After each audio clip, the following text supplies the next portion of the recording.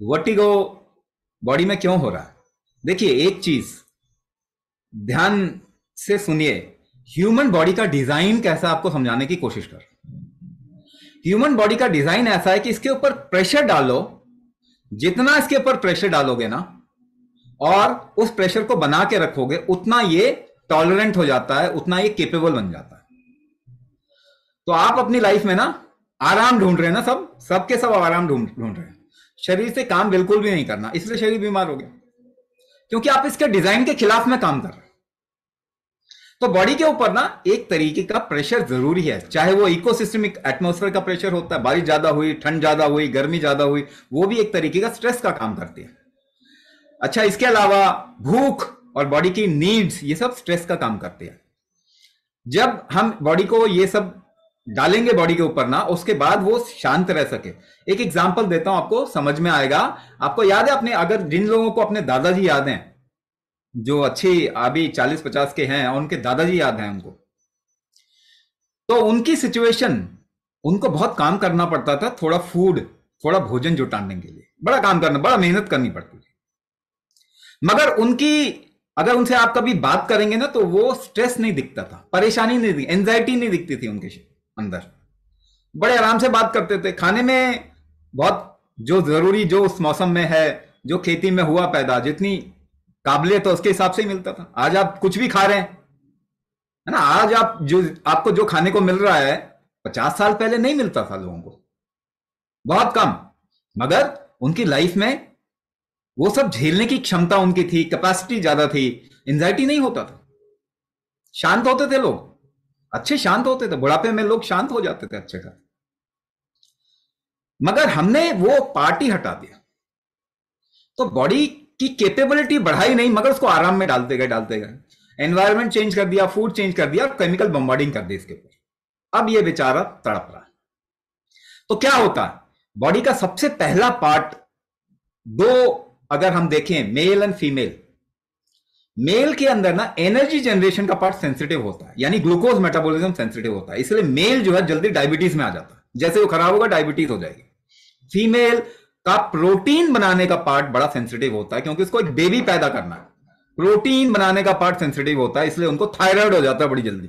आज देखेंगे, बारह तेरह साल की बच्चियों को भी थायराइड हो गई तो दो चीज़ें आपके बॉडी में मेजरली बता रहा हूँ। एक कैपेबिलिटी है, वो क्या है? पहला एनर्जी, यानी ग्लूकोज मेटाबॉलिज्म का, दूसरा प्रोटीन मेटाबॉलिज्म अब बॉडी ये काम कैसे करता है? जब बॉडी को अगर ऐसा एक एग्जांपल दू, बॉडी पे वेट डाल दो और आराम से धीरे धीरे एक लाइन पे चलो। अगर ये प्रैक्टिस कर लोगे ना तो पता चलेगा थायराइड डायबिटीज़ दोनों ही ठीक हो जाए मगर आजकल तो हमें ज़रूरत नहीं है इस चीज़ की, कि हमारे पर लोड, बल्कि हम तो सीढ़ियाँ भी नहीं चढ़ना चाहते।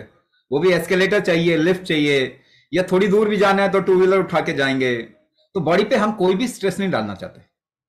लेकिन अगर हमने एनवायरमेंट से अपने आप को कट ऑफ़ कर लिया और ये सारे डिविएशन कर लिए तो हमको अपनी बॉडी को तो ट्रेन करना पड़ेगा ना। कि कम से कम वो अपनी फ़ंक्शन ठीक कर पाए।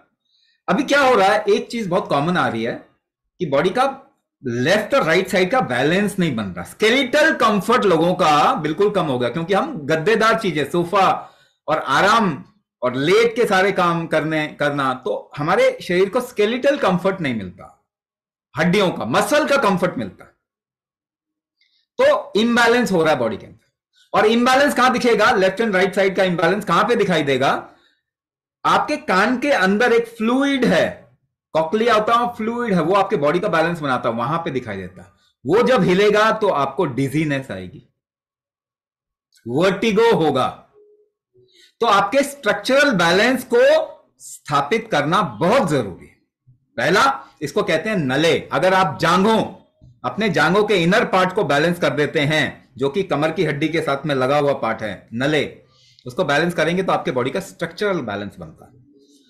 दूसरा बैलेंस जो आपके बॉडी को चाहिए, वो चाहिए, जिसे हम कहते हैं cardio metabolic health balance cardiac metabolic rhythm आपका ठीक नहीं है। यानी लंग्स और हार्ट का जो कोऑर्डिनेशन होता है ना, वहाँ पे गड़बड़ आ रही है। अभी यूके में एक एक्सपेरिमेंट किया गया, उसमें बड़ी अमेजिंग सा रिज़ल्ट आया और वो इतना खतरनाक है। वो रिज़ल्ट कहता है सत्तर परसेंट, दस में से सात लोगों का कार्डियो कार्डियो मेटाबॉलिक हेल्थ ठीक नहीं सेवेंटी परसेंट, आप सोच सकते हो हर एक बंदे को जा आगे चल के उसका हार्ट वीक ही होने वाला है। ये बड़ा अलार्मिंग चीज़ है। ये क्यों ज़्यादा हो रहा है? इसको ठीक कैसे किया जा सकता है? तो आपके छाती के बीच में नीचे की तरफ़ जाएँगे तो एक छोटी सी हड्डी निकली हुई है नीचे, जहाँ पे रिपकेज मिलते हैं। उसको कौड़ी कहा जाता है। और उसका बैलेंस नहीं बॉडी का उसका बैलेंस नहीं बन पा रहा यानी उसका अलाइनमेंट गड़बड़ हो रही उसकी अलाइनमेंट जैसे ही गड़बड़ी होगी तो लंग्स और हार्ट का कोऑर्डिनेशन खराब हो जाता। है उसे कौड़ी कहते हैं। तीसरा जो कारण जो मैंने पहले बता दिया था आपको मेटाबॉलिज्म सबका ही वीक हो रहा है, वो वीक क्यों होता है? जब आपकी नाभि अगर अलाइन नहीं होती है नेवल अगर अलाइन नहीं होता है, जिसे धरण कहते थे लोकल भाषा में धरण कहते हैं, ये सभी का नेवल जो है अलाइन डिसअलाइन है। मैंने जो देखा मेरे एक्सपीरियंस में 70 टू 80 परसेंट लोगों का नेवल डिसअलाइन है। इसको चेक किया जा सकता अच्छा ये तीन चीज़ बताई मैंने। नाभि कौड़ी नले। ये तीन मेजर अलाइनमेंट है आपकी बॉडी को जो आपको ऑलमोस्ट कम से कम आ, हर वीक में तो करना ही चाहिए। आपकी गाड़ी अगर अलाइनमेंट खराब होता है तो आप फट से अलाइनमेंट करवाने जाते हैं। अगर ऊबड़ खाबड़ जगह में। अपना अलाइनमेंट क्यों नहीं कराता? क्योंकि मालूम ही नहीं, कोई जगह ही नहीं ऐसी ह्यूमन अलाइनमेंट करने की। तो हम आपको मॉड्यूल में जो सिखाएँगे, उसमें ये तीनों का अलाइनमेंट सिखाएँगे जो आप रोज कर सकते हैं। जो आप रोज कर सकते हैं। तो इससे क्या होगा कि ऐसी चीज़ें, जहाँ पे कि अलाइनमेंट की वजह से हड्डियों में प्रॉब्लम आ रही है, जैसे कई लोगों का लेफ़्ट साइड शोल्डर में पेन होता है या फिर वहाँ पे स्टिफनेस होती है। टेनिस एल्बो होता है, एक पार्ट ऑफ़ द बॉडी में होता है। या घुटने दर्द हो रहे हैं तो राइट नी तो पेन कर रहा है लेफ़्ट नी तो फिर भी ठीक है। इसका मतलब अलाइनमेंट नहीं है। तो रीजनरेशन एक पार्ट मैंने बताया, जो कि मेटाबॉलिज्म ठीक करने से होगा। दूसरा पार्ट आप बॉडी को अलाइन करना बहुत ज़रूरी है। तभी वो ठीक से फ़ंक्शन कर पाएगा। तो बॉडी का अलाइनमेंट ये बहुत ज़रूरी है। और तीसरा पार्ट बॉडी की टॉलरेटिंग कैपेसिटी फंक्शनल कैपेसिटी बढ़ाना। ये बहुत ज़रूरी है। तीन चीज़ अगर आप करेंगे देखेंगे आपकी 98 परसेंट प्रॉब्लम चली जाएगी। ठीक है तो वर्टिगो क्यों हो रहा है? और आ, मतलब जैसे अभी किसी ने बताया घुटने में प्रॉब्लम है तो मैं और तरीके से एक्सप्लेन कर सकता हूँ घुटने में क्यों प्रॉब्लम है। मगर एक रीजन यह है कि आपकी बॉडी का अलाइनमेंट ठीक नहीं है। दूसरा रीजनरेशन नहीं हो रहा। आप कह रहे हैं ग्रीस खत्म होगी तो ग्रीस तो रीजनरेट होती है ना? तो रीजनरेशन कैपेसिटी खत्म हो गई। अब नकली घुटने लगा लो आप। क्या वो इलाज है? इलाज तो नहीं है वो।